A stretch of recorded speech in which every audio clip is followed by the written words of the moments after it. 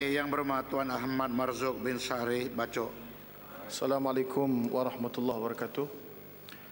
Anak dara menemuk pandan membuat kuih uh, hidangan kenduri. Soalan bacok nombor 6, pohon jawapan Tuan Menteri. Bismillahirrahmanirrahim uh, Tan Sri Yang Dipertua uh, Sebelum itu saya ingin uh, mengalu-alukan kehadiran delegasi daripada KUPTM Ceras dan juga pelawat-pelawat daripada Kota Belud, Sabah. Tuan Yang Dipertua, untuk makluman ahli yang berhormat, pembayaran pampasan kepada mangsa tragedi runtuhan kren adalah hak mutlak Kerajaan Arab Saudi. Sehingga kini, pihak Kerajaan Arab Saudi masih belum memaklumkan status pembayaran pampasan kepada mangsa runtuhan kren pada musim haji 1436 Hijrah bersamaan 2015 Masihi.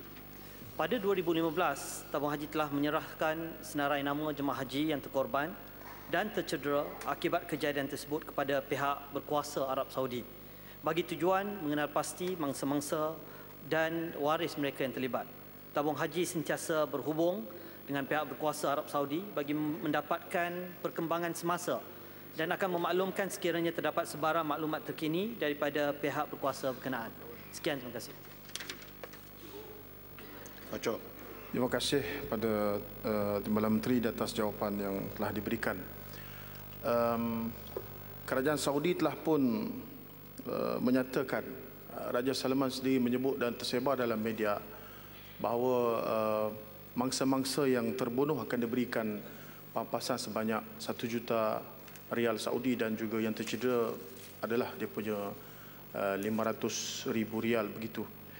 Uh, ini adalah sebahagian daripada amalan yang ada di negara Saudi yang memberikan uh, diah kepada mangsa-mangsa yang terbunuh secara tidak sengaja dan sistem ini adalah merupakan sistem yang ada dalam syariat Islam.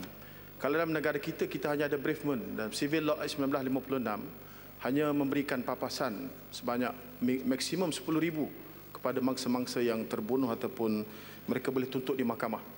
Jadi uh, sistem yang baik seperti ini yang ada dalam syariat Islam uh, sepatutnya diterima oleh semua.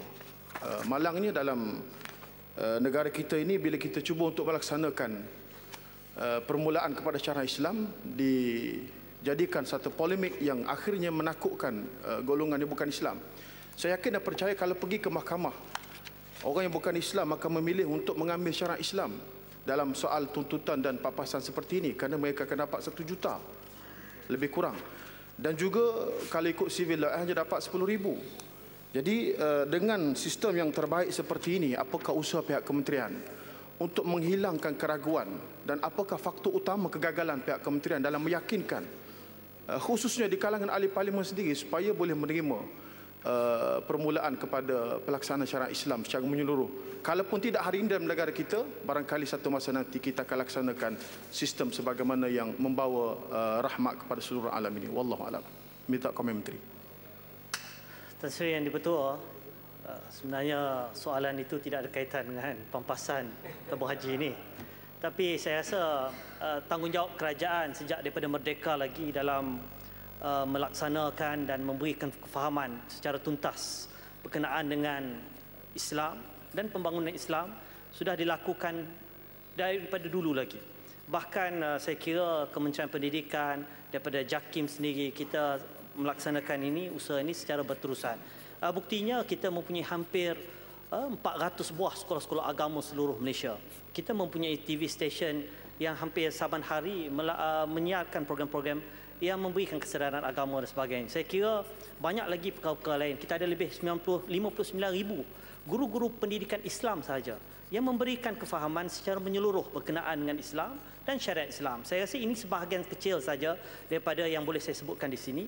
Yang saya kira adalah uh, merupakan tanggungjawab yang berterusan daripada pihak kerajaan daripada dulu sehingga sekarang dan akan datang. Dan mudah-mudahan dengan uh, usaha dan inisiatif yang berterusan ini akan memberikan kefahaman secara menyeluruh bukan saja kepada rakyat yang beragama Islam juga kepada bukan uh, Islam insyaallah. Ya bertahan.